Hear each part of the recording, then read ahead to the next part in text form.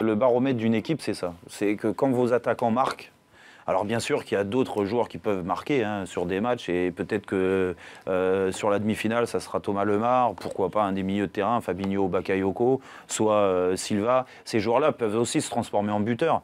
Mais, euh, mais c'est le baromètre d'une équipe, c'est quand votre équipe, vos attaquants marquent et se procurent bon nombre d'occasions. La façon d'évoluer de Monaco va, fait qu'aujourd'hui, les attaquants se créent beaucoup d'occasions et de situations. Après, à eux d'être adroits, à eux de sentir les coups. Ça a été le cas encore hier. Ils auraient même pu en mettre plus que trois. Euh, mais quand vous avez Falcao et Mbappé euh, dans, cet état-là, euh, c'est sûr que c'est plus facile pour, pour les milieux de terrain de, de, les trouver et, que Monaco soit, soit euphorique.